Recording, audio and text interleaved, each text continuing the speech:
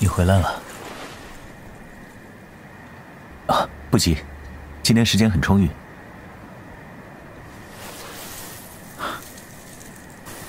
野有蔓草，林露团溪，有美一人，清扬惋惜。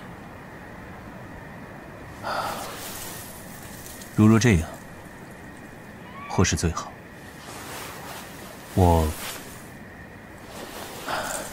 你呀，怎么这种时候，偏偏就想不明白了呢？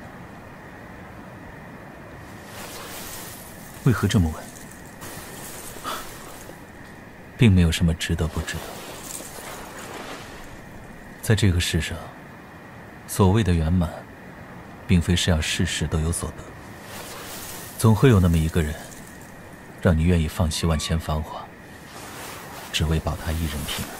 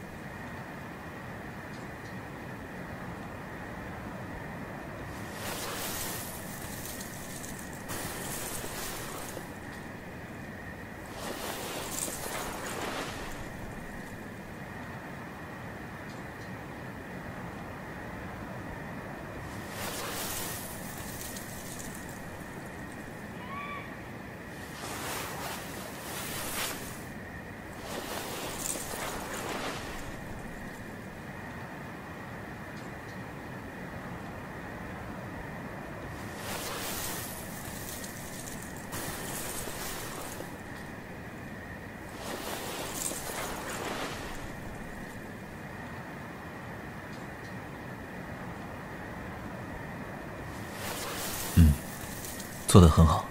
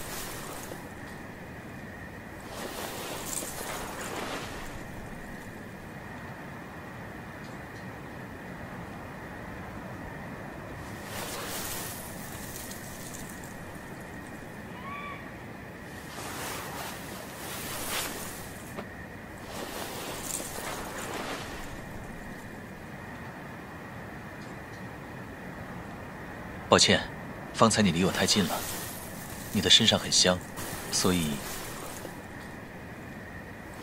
怎么了？在想什么？你是说我刚沐浴完准备更衣，却被你撞见的那一次？既然知道失礼，那你可想好了，要怎么补偿我的清白？嗯，不如以后都由你来为我挽发，可好？这种话也只有你敢说了。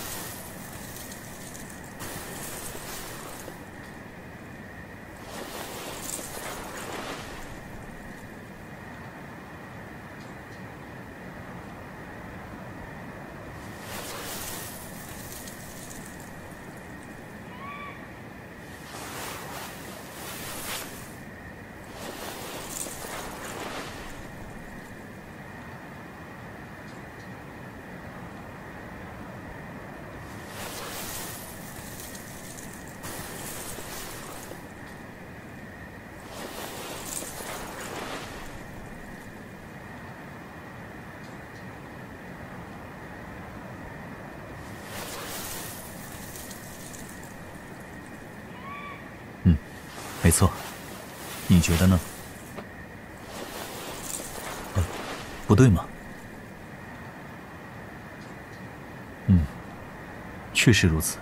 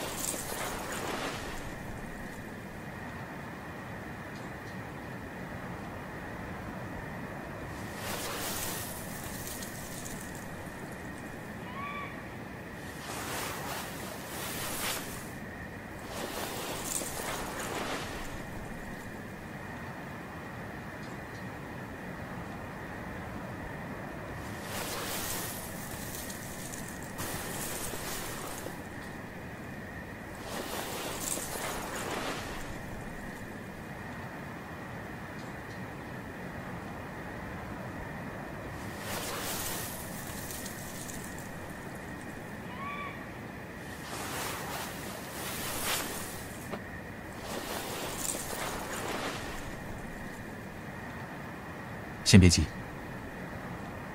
不必如此，麻烦用我手里的杯子便是。有何不可？我是如此，难道你就不是吗？他人的言论不过是身外之物，他们就像是随处可见的落叶，风一吹便消失不见了。所以比起他们，我更在乎那些至关重要的东西，比如此时此刻。正陪伴在我身边的你，比如这往后的漫漫余生，这对我来说就已经是最大的自由和幸福了。啊，那个呀，那是某一年的春日宴上，我独自一人漫步于林间，有一位着青衣的少女自路的另一头而来。他握着一柄油纸伞，伞面上是随风夜夜的蔓草。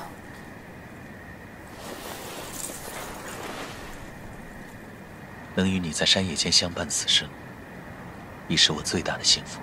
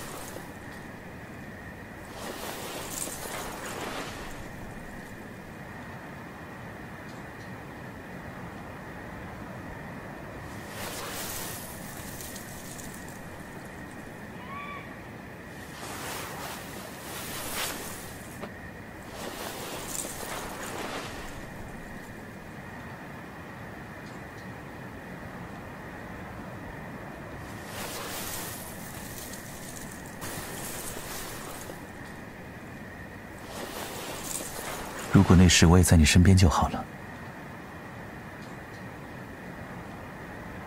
只可惜没有那么多如果。